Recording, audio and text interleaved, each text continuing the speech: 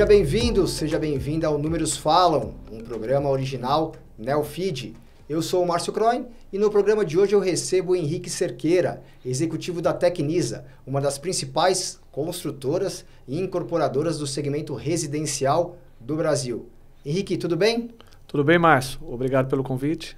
Prazer ter você aqui com a gente. Henrique, a dinâmica é a seguinte: eu vou falar para você cinco números que a Tecnisa publicou recentemente e você vai me ajudar a desvendar o que aconteceu na gestão, na estratégia para alcançar esses números. Com certeza, vamos lá. E no fim, o papel vai se inverter. Eu vou perguntar para você e você vai responder qual número é o melhor para se adequar naquela pergunta. Melhor parte, então. Muito bem. Olha, lembrando você que está nos acompanhando que todas essas informações são públicas e estão disponíveis no site de Relações com Investidores da Tecnisa. Henrique, vamos lá. Primeiro número que eu quero ver com você: 1,1 bilhão em valor geral de vendas, o famoso VGV, de projetos aprovados. É um land bank sólido para os próximos anos? Com certeza. E mais do que sólido, é um land bank que tem uma projeção de margem muito grande. Ter 1,1 bi é, aprovado faz toda a diferença. E além desse 1,1, nós também temos mais 1 bilhão em projetos que estão em fase de aprovação. Então, isso mostra uma continuidade e, principalmente, quando a gente analisa o que nós lançamos nos últimos, os últimos lançamentos nossos, onde nós temos uma margem muito maior do que nós tínhamos antes, mostra aí o futuro da empresa que está muito bem cuidado. Né? Qual o tempo que demora para aprovação, então, né, desses terrenos para você colocar como um VGV aprovado? Nós trabalhamos hoje com prazo entre 8 e 12 meses. A gente tenta passar ali pela prova rápido, mas não são todos os projetos que se enquadram. Então a gente tenta aí projetar sempre 12 meses para aprovação de um projeto. Perfeito. O segundo número para a gente tra tratar aqui, Henrique, 125 milhões é o cronograma de entrega para 2023. Isso se refere aos lançamentos feitos lá em 2020. Como a construção trabalha com ciclos, como está o calendário de lançamento e, claro, né, de entregas para os próximos ciclos? A gente tem algumas entregas programadas, é, tem uma entrega ainda programada esse ano, tem um, algumas outras que vão acontecer nos próximos 12 meses, mas a Tecnisa ficou um período sem lançar. Então, esse período que ela ficou sem lançar, ela cria um buraco no nosso planejamento, que nós retomamos aí nos últimos três anos e vem se acelerando. Então a gente tem um ciclo novo que está chegando. A gente sempre fala, né? A nova colheita que vai vir agora uhum. e com os novos lançamentos que estão entrando também, não tenho dúvida que essa colheita vai ser cada vez mais produtiva. 2024 vai acabar sendo um ano maior de lançamentos e entregas que está sendo 2023? Eu diria o seguinte, a gente ainda não divulga nosso guidance para 2024, ah. mas temos 1,1 bilhão em, de projetos uhum. aprovados e mais 1 bilhão em aprovação. Então, nós hoje, nossa empresa está dimensionada para trabalhar aí com até um bilhão, é o que nós temos aí de estrutura para poder entregar em lançamento. Tá. Quando você falou que a Tecnisa ficou um tempo sem lançar, o que aconteceu? Foi pandemia? Qual foi o problema, né? Ou a estratégia da empresa nesse período para ficar quietinha no lugar dela? A Tecnisa sofreu muito naquele momento de distratos, então tivemos um prejuízo gigantesco. É, aliás, nós passamos, ficamos durante sete anos é, gerando prejuízo, né? Por esse gap que teve, pela falta de lançamento, pela questão dos distratos que aconteceram e principalmente que nós estávamos estruturados para vir com um volume muito grande de lançamentos no Jardim das Perdizes, que é dentro da operação Água Branca. Uhum. E por uma questão de CEPAC, por tudo que aconteceu, de ficamos um período ali sem poder, foi travado o leilão do CEPAC que é algo que está sendo finalizado agora e retoma todos os lançamentos de Jardim das Perdizes. Então, essa somatória de não poder lançar no Jardim das Perdizes com os distratos que teve, a empresa precisou se reorganizar. Então, tá. nos reorganizamos, focamos em aprovar os projetos, nos preparamos para trabalhar muito forte no que é a nossa joia da coroa, que é o Jardim das Perdizes. Aliás, o Jardim das Perdizes não está no balanço, vocês não podem computar isso no balanço, né? Então, é um ativo que vocês têm, vamos dizer assim, na manga escondido, né? O que é uma pena, né? Uhum. Porque quando a gente olha a margem do Jardim das Perdizes, uhum. ela é altíssima, né? Mas ela vem por equivalência. Tá. E é onde está boa parte do nosso Land Bank também e dos nossos projetos aprovados. Então, tem muita coisa boa para vir aí dentro do Jardim das Perdizes. E para quem é de fora de São Paulo, o Jardim das Perdizes fica no bairro da Zona Oeste de São Paulo, se não estiver errado, né? É um bairro novo, foi criado recentemente depois de um leilão de uma área muito grande ali. E algumas construtoras, se não me engano, pegaram né, esses terrenos, né, compraram esses terrenos e a Tecnisa é uma das vencedoras. Aliás, São Paulo é o principal mercado da Tecnisa hoje em dia, né? Com certeza. No período de extrato, a Tecnisa estava pulverizada em diversas capitais e outros estados. Uhum. E nós recuamos. E hoje nós estamos concentrados dentro da cidade de São Paulo, capital. É, temos algumas coisas pontuais, um pouco de land bank fora. Você vai ver nosso land bank, Fortaleza tem alguma coisinha, Brasília temos alguns empreendimentos ali que foram entregues, alguma coisinha para vender ainda, mas estamos concentrados aqui. E principalmente no Jardim das Perdizes, na Zona Oeste, onde a Tecnisa tem uma sócia né, ali dentro, é, mas todo o land bank ali formado é, está na Tecnisa há alguns anos.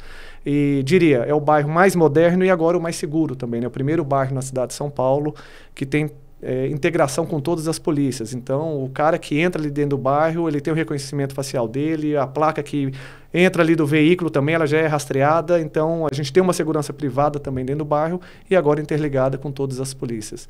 Então, além de ser o mais moderno, agora também o mais seguro, né? Agora, nosso terceiro número, 198 milhões de reais foi o custo dos imóveis vendidos e serviços prestados da Tecnisa no primeiro semestre de 2023 um crescimento de 145% sobre o mesmo período do ano passado. Embora esteja na parte de custos, esse é um indicativo que as obras e os lançamentos estão acontecendo? Com certeza. É, fizemos lançamento nos últimos anos. Essas obras iniciaram, principalmente três obras que iniciaram recentemente, né, que eu tenho ali nos Jardins, e duas no próprio Jardim das Perdizes, que tem o VGV, um de obra um pouco mais elevado. Então, mostra o seguinte: hoje são 11 obras rodando ao mesmo tempo. Então é aquela questão, é o número bom, né? Uhum. Ele traz ali a questão, estamos vendendo bem, crescimento em venda e obra a todo vapor. Então um bom indicador. Esse, esse indicador, mas ele é colocado no custo porque ele sai do, do caixa da empresa, né? Ele tem que ser colocado ali, né? Tem que ser colocado ali. Muito bem. Nosso quarto número, Henrique, 242 milhões de reais foi a receita operacional líquida no semestre da Tecnisa, com o primeiro trimestre um pouco mais forte que o segundo. Essa curva, indica alguma desaceleração ou é a dinâmica do mercado de construção? Eu diria, tem um pouco da dinâmica do mercado de construção, mas pela particularidade da Tecnisa também, né? Passando por aquele período de ficar sem lançamento, retoma uhum. o que tem, então a gente vem numa curva crescente. Mas são ciclos, né? A gente fala, hoje a Tecnisa está colhendo é, o ciclo de decisões que foram tomadas há cinco anos atrás. E aí nós estamos construindo um novo ciclo para a gente colher isso nos próximos cinco anos também, que é sempre o nosso planejamento de cinco em cinco. Uhum, uhum. Mas essa receita é considerada é, algo bom, algo saudável, algo que uh, o mercado até elogiou? Com certeza. Dentro do nosso cenário atual, é um bom número. Uhum, uhum. E, obviamente, essa, essa é a parte do segundo semestre. É um guidance se você não consegue comentar do que vem daqui para frente, porque seria né, um, um, um guidance que vocês não podem dar para o mercado, né? Acho que eu vou levar uma bronca se eu falar. Nosso quinto número, Henrique, 89 milhões de reais em dívidas de curto prazo. Em relação ao caixa da empresa, é um número confortável ou preocupante? Hoje é um número confortável, não é algo que nos preocupa, principalmente quando a gente olha as próximas entregas que a gente vai ter. Uhum. É, temos aí a questão da compra do CEPAC, né, e que nós também estamos preparados com o nosso caixa para fazer isso, mas eu diria, hoje não é uma preocupação da empresa pelo caixa que nós temos com as dívidas que a gente também tem hoje aí divulgado no nosso balanço. Uhum. E aí quando você pega em relação à dívida total da empresa, também é saudável? Quer dizer, a, a dívida da empresa está no longo prazo? Não é o mais confortável. Você fala, está confortável? Não. Tá. Mas é um número seguro e eu diria está bem controlado também. Uhum. Perfeito, perfeito. Bom, agora vamos passar para o jogo rápido, né? Agora os papéis se invertem. Quero que você fique confortável para falar e também para explicar os números que a gente vai apresentar aqui. Henrique, o melhor número a ser apresentado? Depois de sete anos de prejuízo, pelo quarto tri consecutivo, 26 milhões de lucro acumulado. É, é, um lucro tímido ainda, né? Mas já são 26 milhões no acumulado dos últimos 12 meses, depois de um período tão longo gerando prejuízo. O mercado elogiou esse resultado? Como é que foi a reação né, dos analistas que sempre acompanham a empresa, né, que cobram esses resultados da empresa, cobram estratégia, cobram gestão? Como é que foi após vocês apresentarem esse número? Ainda tinha muita dúvida. Será que é voo de passarinho, né? Voo de galinha que a gente fala? Um tri sem prejuízo, volta ali para o lucro, discreto ainda, mas teve. Veio o segundo tri ali, terceiro e quarto tri consecutivo. Então a gente acho que já conseguiu passar o recado. Uhum. Ainda é tímido, porque nós ainda não temos um volume de lançamento, as obras estão vindo, então a gente precisa reconhecer esse resultado. É, mas está sendo bem elogiado e bem visto no mercado, com certeza. Pelo menos a empresa parou de dar prejuízo, volta a dar lucro e mostra um crescimento. O número que melhor representa a companhia? Bom, é, eu diria o seguinte: re, a gente falou sobre a retomada das obras. Né? As obras estão evoluindo bem e quando a gente olha o nosso crescimento em venda e um número de 11 obras hoje rodando, uhum. é, não tenho dúvida de que isso vai chegar como resultado muito em breve. Né? Não posso falar ainda dos próximos tri, mas eu diria, tem coisa boa vindo por aí. 11 obras? 11 obras rodando. Quais são essas 11 obras? E um crescimento de 30% em vendas quando a gente compara com o mesmo período do ano passado. 30% em vendas comparado ao mesmo período do ano passado. Exatamente. E com 11 obras acontecendo. E com 11 obras acontecendo. Onde são essas obras? Quais são as mais interessantes aí? Eu diria, é, tenho três obras que se destacam. A no Jardins, que é na Lorena com a Consolação. Então, uma obra aí, nós estamos falando de as nossas obras em torno de 100 milhões em obra. Tá. Temos duas no Jardim das Perdizes também, onde a gente tem uma margem altíssima, empreendimentos. Um deles lançou e vendeu praticamente 100%, as últimas unidades a gente conseguiu ganhar bastante preço. E o segundo lançamento que nós fizemos também aí, antes de iniciar a obra, já estávamos 70% vendido. Então, uhum. são duas obras no Jardim das Perdizes que se iniciaram há 30 dias. Então, você imagina o que a gente vai reconhecer de resultado, mês que por equivalência, uhum. nos próximos uhum. seis meses. O que é melhor, começar uma obra com uma boa parte vendida ou ter a melhor margem? É uma boa pergunta. E sempre vem um questionamento. Né? Se você vende 100% na largada, fica aquele ponto. Será que não vendeu barato? Uhum. Mas, ao mesmo tempo, a gente consegue ver o ganho que nós tivemos de preço. Eu diria assim, o Jardim das Perdizes, há alguns anos atrás, ele era vendido por 50% o valor do metro quadrado que ele é vendido hoje. Então, a gente consegue mostrar um ganho muito grande. Nós clientes que compraram a 8 mil reais, hoje eu vendo a 16. Eu tenho unidade que chegam a 18 mil reais o metro quadrado. Então acho que dá para eliminar esse ponto de ter vendido rápido uhum. e ter deixado o dinheiro na mesa. Mas com certeza, iniciar a obra tão bem vendido assim dá muito conforto para a Tecnisa. Um número importante, mas que ninguém olha para ele. Bom, é a nossa, o nosso custo operacional. A gente reduziu bastante o nosso custo. Né? Então, quando você inicia as obras e com aquilo que nós temos, a gente consegue diluir muito o nosso DNA.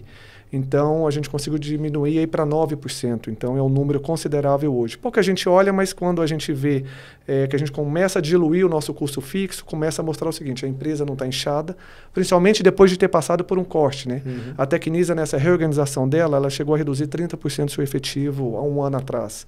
E como a gente ainda não tinha é, muito negócio para diluir, parecia ser alto, mas agora a gente começa a mostrar que a empresa está bem equilibrada, com a equipe bem justinha e muito eficiente. O que, que, é o DNA? Só para quem não souber poder entender. Boa. É, é, o que nós temos de custo que a gente precisa de todo o custo da empresa. Então eu tenho um aluguel de escritório, o salário da equipe que não é rateado dentro da obra, é, todas as nossas despesas fixas diluídas ali dentro do que nós temos empreendimento rodando, né? Então, cada empreendimento tem o seu VGV, cada empreendimento ele contribui de alguma forma é, para o nosso rateio de custo fixo. Então, uhum. se você vai aumentando o número de obras, você passa a ter mais empreendimentos para diluir esse custo fixo. E é o que está acontecendo. O custo fixo nosso ele está ficando cada vez menor. O número que não sai da sua cabeça? Ah, não tenho dúvida. 1,1 bilhões de projetos aprovados. A gente começa a sonhar com lançamento, né? Então, nossa vontade é chegar aqui e falar assim, já tenho isso daqui para lançar daqui três meses, seis meses.